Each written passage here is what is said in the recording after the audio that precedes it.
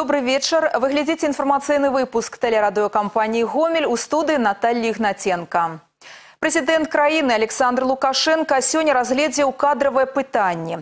У прыватнасці ён даў згоду на прызначэнне старшынёй лельчыцкага райвыканкама Анатоля Гапоніка, лоеўскага райвыканкама Сергея Дмітрова, рэктарам гомельскага дзяржаўнага універсітэта імя Францыска Скарыны Сергея Хахомова. Да пачатку пятага ўсебеларускага народнага сходу застаецца паўтара тыдні. На гэтым форуме гомельскую вобласць прадставіць 350 чалавек. 31 процент дэлегатаў жанчыны, з агульнай колькасці ўдзельнікаў 25 процентаў дэпутаты мясцовых саветаў. Практычна кожны пяты прадстаўнік сацыяльна-культурнай сферы, адукацыі і аховы здароўя. 8 з паловай процентаў інжынерна-тэхнічныя работнікі, каля 8 працаўнікі вёскі. Олег Сенцюроў сустрэўся з некаторымі дэлегатамі.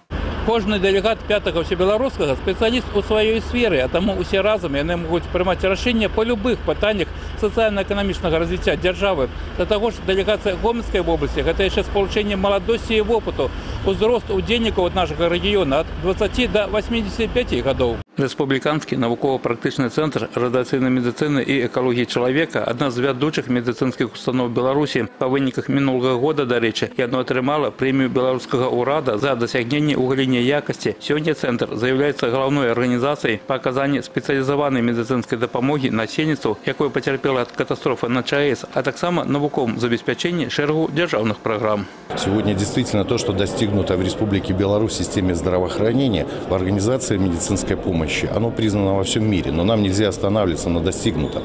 И нужно двигаться вперед, развивать те технологии, которые сегодня существуют в мире. Поэтому, конечно, первоочередная задача – это обсудить вопросы доступности, качества медицинской помощи и дальнейшее ее развитие. Ёсць аб чым сказаць на пятым усебеларускім народным сходзе і прадстаўнікам аграпрамысловага комплексу. За апошнія 7-8 гадоў гэты сектар зрабіў значны крок наперад, што дазволіла на справе казаць аб харчовай бяспецы краіны. Апрача таго сёння АПК яшчэ і экспартна арыентаваная галіна, дзякуючы якой Беларусь штогод атрымлівае мільярды долараў. Разам з тым дэлегаты ад гомельскай вобласці кажуць аб беражлівасці і неабходнасці больш рацыянальнага расходавання сродкаў. Плюс больш уважліва падыходзіць да працэсу рэфармавання, асабліва калі ў гаспадарках высокія вытворчыя паказчыкі і зусім нядрэнная сярэдняя зарплата. У калгасе 50 год кастрычніка рэчскага района за апошні месяц яна склала, напрыклад, 8 мільёнаў 200 тысяч рублёў. Меня особенно интересует, э, э, почему должны реформировать колхозы, которые успешно работают, почему им предлагать другую форму работы, если хозяйство э, ведет работу на уровне, своевременно платит э, зарплату достойную, рассчитывается по всем платежам э, с государством, с банками и ведет расширенное воспроизводство, по-видимому, и слово «колхоз» – это историческая форма собственности, она обязательно должна остаться Э, ну, если не массово, то э, никогда она не должна исчезнуть. Олег Сентеров, Валерий Гапанько, Евгений Макеенко, телерадиокомпания «Гомель». Сёння беларускія абітурыенты здалі першае тэсціраванне. Уступныя выпрабаванні пачаліся з беларускай мовы. Здаваць родную мову ў гомельскай вобласці выказалі жаданне каля трох тысяч абітурыентаў. Нагадаем, на гомельшчыне ЦТ праводзіцца ў шасці вышэйшых навучальных установах: Мазырскім педагагічным універсітэце, Светлагорскім дзяржаўным індустрыяльным каледжы, гомельскім дзяржаўным універсітэце, гомельскім тэхнічным універсітэце, беларускім дзяржаўным універсітэце транспарту і беларускім гандлёва-эканамічным універсітэце спажывецкай кааперацыі.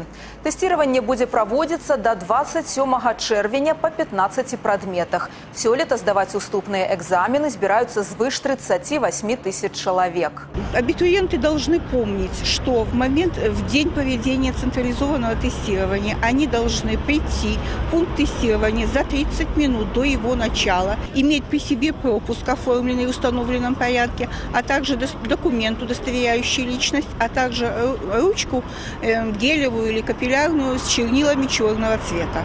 У камітэце дзяржкантролю гомельскай вобласці арганізавана гарачая тэлефонная лінія па пытаннях уступнай кампаніі.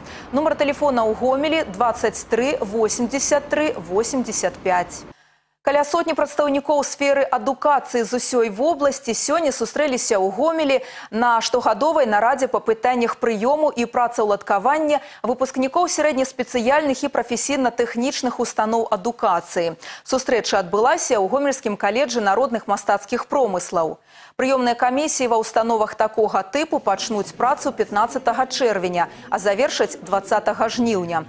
На сустрэчы ў гомелі прадстаўнікі сферы адукацыі абмеркавалі нарматыўныя пытанні правядзення прыёму, пазначылі задачы на будучы навучальны год і падвялі вынікі мінулага. Так у 2015 на дзённую форму навучання ва ўстановы сярэднеспецыяльнай і прафесійна-тэхнічнай адукацыі в обласці было прынята больш як 5 тысяч чалавек. Самымі папулярнымі у абітурыентаў тады былі гомельскі ліцэй машынабудавання, калеж народных мастацкіх промыслаў і ліцэй чыгуначнага транспарту.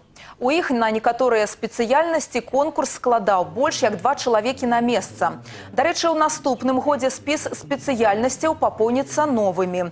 У гомельскай вобласці ўпершыню пачнуць рыхтаваць агентаў па забеспячэнні, повараў дзіцячага харчавання, аператараў камп'ютарнай графікі і манціроўшчыкаў шынамантажных муфт. Некаторыя з гэтых спецыяльнасцяў сталі новымі не толькі для гомельскай сістэмы адукацыі, але і для беларускай увогуле. Аўтапрабегам на рэтра-аўтамабілях адзначылі 85годдзе энергетычнай сістэмы супрацоўнікі прадпрыемства гомель-энерга. У святочнае падарожжа яны накіраваліся па маршруце гомель-чачэрск-карма. Далучылася да прабегу і наша здымачная група. Форму празднования юбилея в виде автопробега выбрали не случайно. Увлечение ретро-автомобилями – корпоративное хобби энергетиков. Все машины, а это 15 единиц – личная собственность работников предприятия энергокомплекса. Уже пятый год подряд они отправляются автоколонной по регионам Гомельской области. В этом году посещают Чечерской корму. Выбор места всегда не случайен. В этом году 30-летие Чернобыльской трагедии. И, как правило, мы выбираем такие районы, которые наиболее пострадали от этой трагедии. Официальный повод для автопробега – 85-летие энергосистемы Беларуси. Но сами участники более важной называют 75-ю годовщину начала Великой Отечественной войны. Поэтому в каждом пункте пробега сначала посещение знаковых мест, связанных с памятью участников войны. Чечерский цветы возлагает к монументу погибшим Великой Отечественной солдатам и партизанам. Тут же вручают подарок для местной спортивной школы – комплект татами. Подарок очень щедрый, э, потому как э, на сегодняшний день татами, комплект татами, оно очень дорогостоящее. И сами мы не в силах, э, не можем себе позволить купить комплект татами. И вот благодаря, значит, Гомель Белэнерго, их руководителю Сергею Олеговичу, еще раз им большое спасибо, они пошли нам навстречу и приобрели целый комплект татами для наших воспитанников. Гомельские энергетики память о Великой Отечественной войне чтут особо. На предприятии даже есть свой военно-исторический клуб. Он носит название 53-й мотострелковой бригады НКВД и призван сохранить память о вкладе гомельских милиционеров в Великое дело Победы. 53-й мотострелковый полк НКВД, он формировался в Гомеле. В Чонках его база была, он принимал активное участие в обороне города Гомеля. Он был базой для создания групп, которые, на базе которых после создавались партизанские отряды по всей нашей стране. Проезд автоколонны по Чечерску буквально парализует в городе движение, как автомобильное, так и пешеходное. Такое зрелище здесь видят нечасто. Автоколонна тем временем направляется в Корму. Здесь еще один митинг на Аллее Славы и возложение цветов к мемориалу памяти отселенных в результате аварии на ЧС деревень. После концерт на главной площади города, который еще раз подтверждает энергетики, люди талантливые и многосторонние. Участники заслуженного любительского коллектива «Скорбонка» гомельских теплосетей и поют, и танцуют, и стихи читают. И все на высоком профессиональном уровне. С концертами они объехали не только всю Беларусь, но побывали и за границей. В Корме также не обошлось без благотворительности. Ветеранам Великой Отечественной вручили подарки, а для многодетных семей подготовили сертификат на 20 миллионов рублей. Вся социальная активность энергетиков проходит под патронатом Гомельской областной организации Белорусского профсоюза работников энергетики, электротехнической и топливной промышленности. Это один из главных организаторов акции. Мы вручаем подарки ветеранам Великой Отечественной. Мы э, отдаем дань ветеранам войны, возлагаем цветы воинским захоронениям. То есть мы, будем говорить, следуем тому девизу, который э, появился или возник на седьмом съезде Федера- Федерации профсоюзов, мы вместе. Автопробег в очередной раз доказал, что энергетики способны принести в наши дома не только свет и тепло, но еще и праздник. Для самих же работников Гомеля Энерго это еще одна возможность укрепить командный дух. Главное, значит, э, сплочение коллектива, энергетического коллектива, поскольку от того, насколько надежный коллектив, такое и надежное энергообеспечение всего нашего народного хозяйства, нашего реального сектора экономики. Анастасия Кучинская, Евгений Макеенко, телерадиокомпания «Гомель», Чечерский, Кармянский районы. У карціннай галерэі Гаўрыла Вашчынкі адкрылася выстава жывых экзатычных птушак пад назвай свет вялікіх папугаяў. Гэты дзіўны маляўнічы куток абласнога цэнтра у дзяцей выклікае непадробную цікавасць і радасць, а для дарослых з'яўляецца своеасаблівым экзатычным рэлакс-памяшканнем. З першых хвілін знаходжання тут, у месцы поўным прыгожых птушыных спеваў і шчабятанняў, атрымліваеш зарад станоўчай энергіі і добрага летняга настрою. На выставе прадстаўлена каля 50 дзіўных па сваёй прыродзе пярнатых насельнікаў самых далёкіх куткоў зямнога шара. Гэта папугаі самых розных відаў, колераў, памераў і характараў, ад маленькіх хвалістых і неразлучнікаў да вялікіх ара і какаду. Некаторыя з іх нават размаўляюць. Дарэчы, робяць яны гэта досыць рэдка, аднак захопленых поглядаў з боку дзяцей і дарослых у адрас экзатычных птушак ад гэтага менш не становіцца. Да таго ж для юных наведвальнікаў гэтага унікальнага кутка дзікай прыроды прадугледжана імправізаваная арт-зона з рознакаляровымі алоўкамі і размалёўкамі. Напрыканцы мая фінішавала 99-я па ліку супервелашматдзёнка Джира Дэталія. У агульным заліку гомельскі велагоншчык каманды Дымешн Дата Константин Сіўцоў заняў 10 месца. Гэты вынік стаў лепшым для беларусаў за ўсю гісторыю выступлення на гонках гранд-тура. Зараз Сіўцоў рыхтуецца да алімпійскіх гульняў у Рэ-дэ-Жанейра.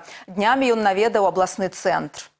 Гранд-туры – гэта самыя прэстыжныя гонкі ў свеце веласпорту. Іх усяго тры – Джира, Тур де Францыі, Уэльта, Іспаніі. За плячыма беларуса паўтара десятка супервелашматдзёнак. З 10 месца на Джира 2016 стала для Сіўцова паўторам поспеху. У 2011 беларус таксама замкнуў десятку мацнейшых прэстыжныя велашматдзёнкі. Аднак дасягненне пяцігадовай даўнасці не ідзе ні ў якое параўнанне з цяперашнім. У 2016 годзе было куды складаней утрымаць пазіцыі. Пры гэтым быў рэальны шанс падняцца падняцца вышэй у генеральнай класіфікацыі. Пераможцы італьянцу Франческо Нібалі Сіўцоў саступіў 16 хвілін 20 секунд. Достигнутым результатом, да, анализируя после э, Джира до Италии свои возможности с моим личным тренером команды, то есть э, реально можно было бороться за восьмую позицию. Ну, как бы скажем честно, девятую позицию мы упустили просто в последний день не из-за моих физических и кондиций, а из-за тактических действий моих директоров. Падрыхтоўка да Джира да Італія вялася з прыцэлам на Алімпіяду ў Рыя, куды Канстанцін Сіўцоў плануе адправіцца. На сама гонка стала выдатнай праверкай сіл. Для падрыхтоўкі да гульня ў Рыя беларус плануе ахвяраваць удзелам у іншай супервелашматдзёнцы Тур де Францыі трохі адпачыць. Прыярытэт будзе аддадзены менш доўгім гонкам. Вся проделанная работа перед Джира, она как бы с такой же уклоном было проведена на Рио, то есть на ближайшие Олимпийские игры.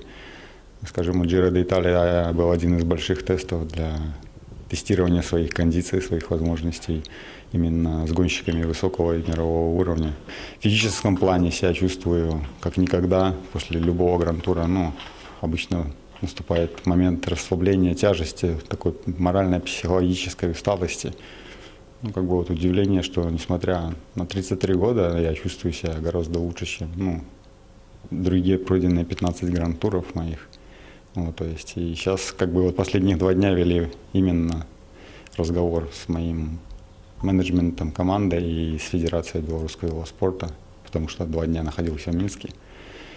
И то есть, наверное, придем к заключению такому, что пропущу Тур де Франс и буду вести ну, непосредственно подготовку через другие гонки. Это там Тур Польши, Сан-Себастьян. У Гомелі Константина Сіўцова сустрэлі ветліва, павіншавалі з поспехам на джыры і пажадалі ўдалага выступлення на Алімпіядзе. Добрыя словы абласное прадстаўніцтва нацыянальнага алімпійскага камітэта падмацавала матэрыяльна. Максім Савін, Максім Славін, тэлерадыёкампанія Гомель. На гэтым выпуск завершаны. У студыі працавала Наталья Ігнаценка. Мы сочым з развіццём падзей у Гомелі і ў вобласці. Заставайцеся з намі.